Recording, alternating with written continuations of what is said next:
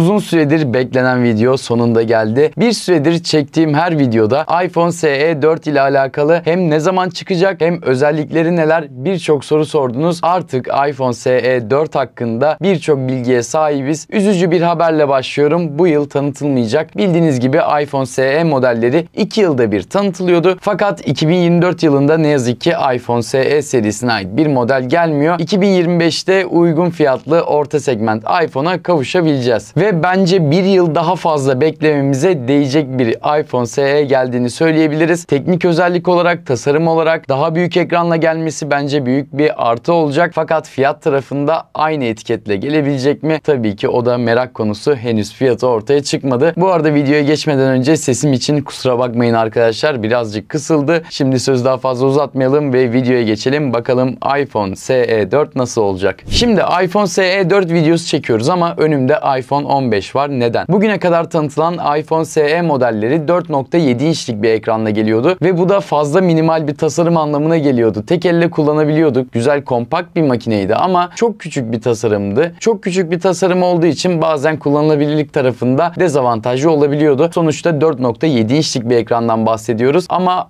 iPhone SE 4 ile alakalı ortaya çıkan detaylara baktığımız zaman yeni modelin 6.1 inçlik bir ekrana sahip olması bekleniyor. Bu da demek oluyor ki iPhone 15 ile hemen hemen aynı boyutlara sahip olacak. Hatta arka kapak tasarımı da belli oldu arkadaşlar. Bildiğiniz gibi geçtiğimiz dönemlerde iPhone 16'nın render görüntüleri ortaya çıkmıştı. Artık tasarımını öğrenmiştik. Hatta burada bir kılıfı da var. iPhone 16 ve 16 Plus modelleri dikey konumlandırılmış ikili kamera kurulumuyla gelecek. iPhone SE 4 modelinin de arka kapak tasarımında iPhone 16 ile birebir aynı olması bekleniyor. Yani artık iPhone SE 4 kasa olarak da iPhone 16 ile birebir aynı olacak. Aynı zamanda yeni SE modeli OLED ekranla gelebilir fakat bu bilgi henüz net değil. Çünkü tanıtımına yaklaşık bir sene olduğunu tahmin ediyoruz. 2025 yılında tanıtılacak bir telefon olduğu için ekran paneli hakkında net konuşmak şu anda yanlış olur. Çünkü genellikle uygun fiyat politikası da izlendiği için SE modelinde OLED ekran kullanılmayabilir. Çünkü OLED demek maliyet demek. Bu yüzden OLED konusunda şu anlık net değiliz ama OLED hakkında da bazı söylentiler var. Burada OLED ekran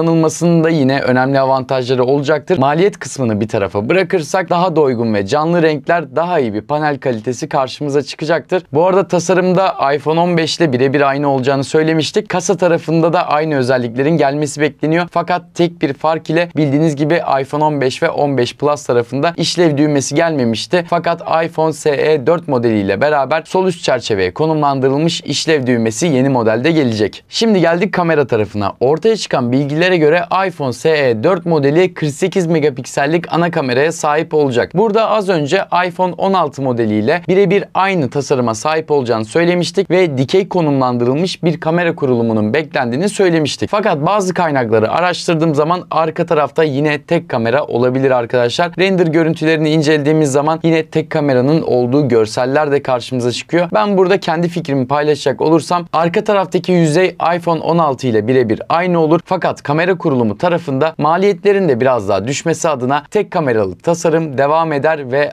iPhone SE 4 tek kameralı olur diye düşünüyorum. Burada farklı kaynakların çatıştığını görüyoruz ama benim düşüncem iPhone SE 4 tek kamerayla gelecek. Bunu da zaten önümüzdeki dönemlerde göreceğiz. Şimdi geldik güç tarafına. iPhone SE 4 modeli ne yazık ki en güncel işlemciyi kullanmayacak. Muhtemelen serinin önceki modellerinde olduğu gibi önceki nesilleri kullanmaya devam edecektir. Burada benim tahminim A16 Bionic işlemcisiyle gelebilir. Pil tarafına baktığımız zaman ise iPhone 14 modeliyle aynı pili kullanması bekleniyor. 3279 miliamperlik bir kapasiteye sahip olacak. 5G desteğine baktığımız zaman yine son yıllarda piyasaya sürülen modellerde olduğu gibi 5G bağlantı desteği bulunacak. Bu arada iPhone SE 4 modeliyle beraber Touch ID'ye de veda ediyoruz. Artık Face ID olacak. Bu da yine telefonun maliyetinde etkileyecektir. Şimdi geldik ortaya çıkan render görüntülerine. Siz de benimle beraber ekranda görüyorsunuz. Tasarımına baktığımız zaman sağ tarafında kilit tuşu karşımıza çıkıyor. Arka tarafında tekli kamera kurulumu bulunuyor. Burada mesela yine tek kamera tasarımı kullanılmış. Ön tarafında Face ID sensörlerini görüyoruz. Fakat çentikli bir ekran olduğu düşünülüyor. Burada benim düşüncem çentikli ekran gelmeyecek. Dinamik adaya sahip olacağını düşünüyorum ben. Sol üst taraftaki çerçevede bulunan işlev düğmesini görmüyoruz. O tarafla alakalı herhangi bir tasarım bulunmuyor. Sağ tarafta kilit tuşu olacak. Sol üstte işlev düğmesi. Ses açma kısmı kısmının da yine sağ tarafta olacağını düşünüyorum. Alt taraf yine aynı kalacaktır ama ekran tarafına baktığımız zaman çentikli ekran yerine dinamik adanın kullanılacağını düşünüyorum. Fiyat tarafına baktığımız zaman ortaya çıkan teknik özelliklerden de dolayı biraz daha maliyetinin yükseldiğini bu yüzden serinin önceki modellerine göre biraz daha yüksek bir fiyat etiketine sahip olacağını söyleyebiliriz. Apple'daki satış fiyatına baktığım zaman 28.999'luk bir fiyat etiketinin karşıma çıktığını görüyorum. Fakat burada 64 GB'lık versiyondan bahsediyoruz. Eğer 256 GB almak isterseniz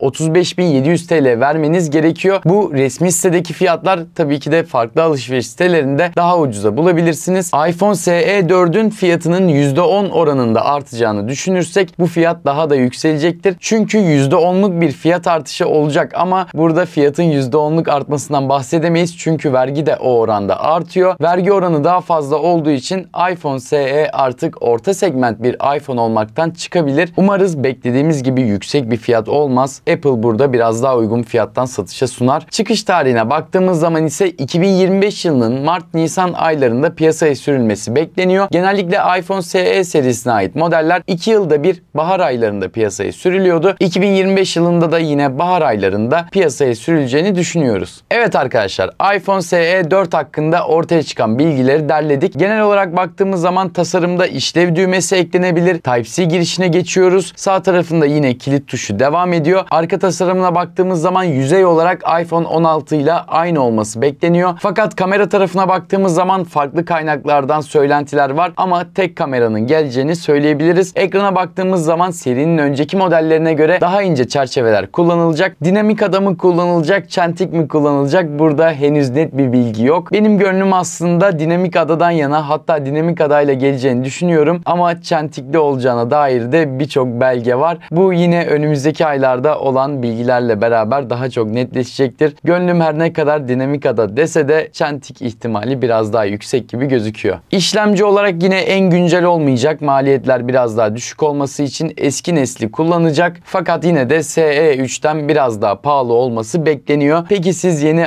iPhone SE 4'ü nasıl buldunuz? Sizin gelmesini beklediğiniz bir özellik var mı? Bu arada yapay zeka konusuna hiç girmiyorum. Çünkü yapay zeka özellikleri yeni iPhone SE modeline gelmeyecek arkadaşlar. Buna artık %90, %95'lik bir ihtimal diyebiliriz. Fakat iOS 18 sürümünü alacaktır tabii ki de. Yeni iPhone SE 4'ü nasıl buldunuz? Sizin beklediğiniz bir özellik var mı? Yorumlarda fikirlerinizi bekliyorum. Sonraki videolarda görüşmek üzere. Hoşçakalın.